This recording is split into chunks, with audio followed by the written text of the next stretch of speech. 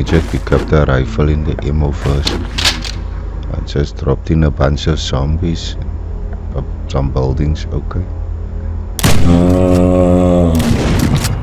If you guys want me to make tutorials about Game Guru, I'm up to it.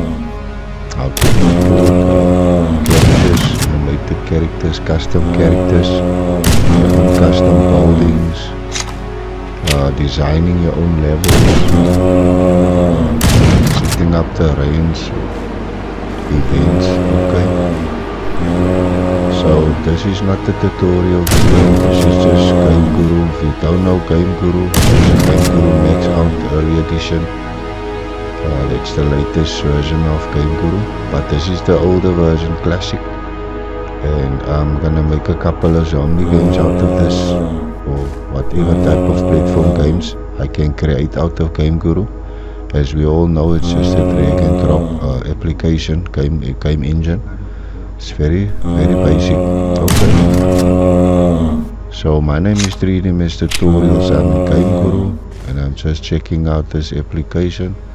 It looks quite nice. You've got four texture slots, so you've got your ambient occlusion, specular, normal maps, um, and that can make your model look very nice. Okay, as you can see.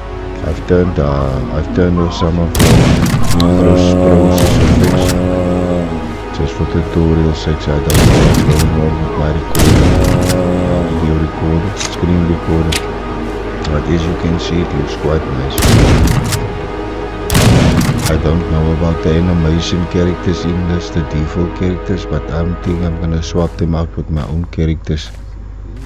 Some of them they don't even have uh, uh, a walking animation they just slide. It's like they're gliding over the terrain and that is not nice.